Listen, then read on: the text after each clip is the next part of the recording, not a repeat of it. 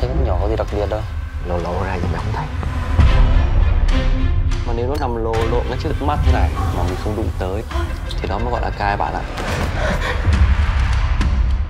Làm chuyện lén lút ai lại đi cửa chính bao giờ?